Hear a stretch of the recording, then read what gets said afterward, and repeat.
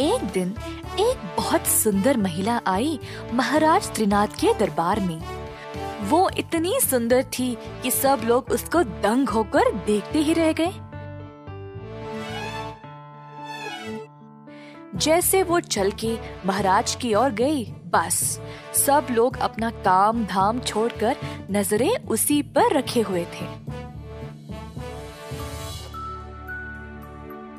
प्रणाम महाराज।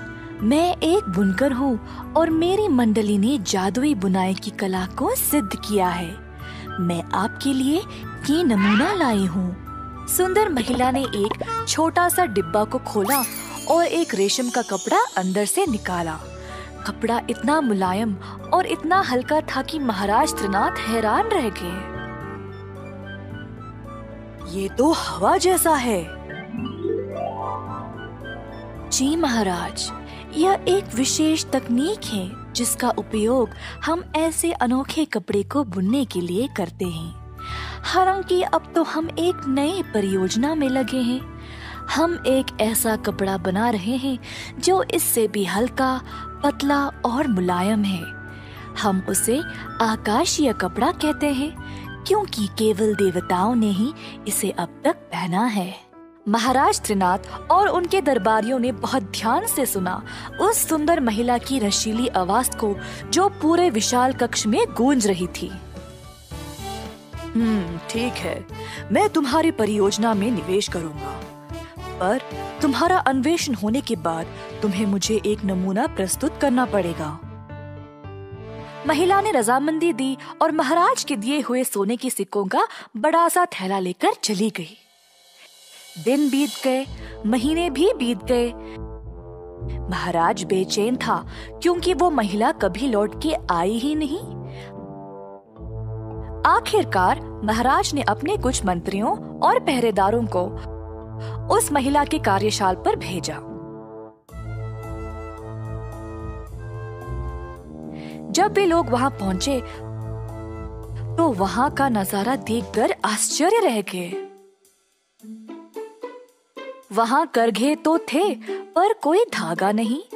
साग बुनकर उन पे काम कर रहे थे, और वे अपने काम में इतने डूबे हुए थे कि किसी ने भी इतने आदमियों की सेना को ध्यान ही नहीं दिया। करघे काम तो कर रहे थे, परंतु उनमें से कोई कपड़ा निकला ही नहीं। सब मंत्री दरबार वापस गए। और तुरंत महाराज को सब कुछ बताया। महाराज क्रोधित हो गए। उसी समय उस महिला को बुलाने का आदेश दिया। महिला अपनी एक दासी के साथ आई, जो एक खाली थाल पकड़ी हुई थी। महाराज के सामने झुककर महिला ने कहा, महाराज, जो नमूना आपने मांगा था, मैं वो ले आई। दासी ने महाराज को खाली थाल प्रस्तुत किया। महाराज बोलने ही वाले थे कि थाल खाली है जब महिला फिर से बोल पड़ी। महाराज, यही है वो आकाशी कपड़े का नमूना। साधारण मनुष्य को ये दिखाई नहीं देता, परंतु जो मेधावी और बुद्धिमान है, केवल वही देख सकते हैं इसकी लावण्य। जो भी लोग वहाँ उपस्थित थे, ये सुनकर हैरान रह गए। सब सोचने लगे महाराज, शायद हम सबको मूर्ख समझते हैं। समय आ गया इस बात को ठीक करने का। कुछ आदमी महाराज के पास गए और बोले, महाराज, क्या कमाल का कपड़ा है ये। इसकी कढ़ाई की बारीकी तो देखो, लाजवाब चीज़ है ये। केवल आपके लिए ही उपयुक्त है। ये सुनकर महाराज अचरज में पड़ गए। उन पे मुसीबत आ पड़ी अगर वे कहेंगे कि उनको कोई कपड़ा दिखाई नहीं दे रहा तो दरबार के सब लोग उन्हें मूर्ख समझेंगे। और अगर बोलेंगे कि हाँ दिखाई दे रहा है तो ये ठगी महिला सारे पैसे लेकर भाग जाएगी। महाराज ने अपने भरोसेमंद सेवक रामदास को अपने पास बुलाया और धीरे से उनके कान में सब कुछ बताया। रामदास ने केवल मुस्कुराया, महिला की ओर देखकर बोला साहिबा, हम आपकी प्रतिभा की सराहना करते हैं। इस आकाशीय कपड़े को स्वीकार कर हम धन्य हो गए। परंतु उचित सम्मान के साथ महाराज का ये निवेदन है कि आप इस दरबार में इस कपड़े को पहने ताकि हम सब देख सके कि ये किसी इंसान पे कितना सुंदर लगेगा।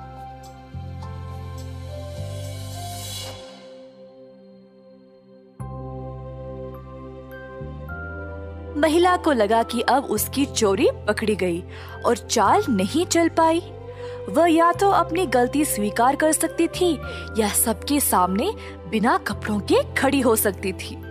कोई और रास्ता ना होने पर महिला बस महाराज के कदमों पर पड़कर माफ़ी की भीख मांगने लगी।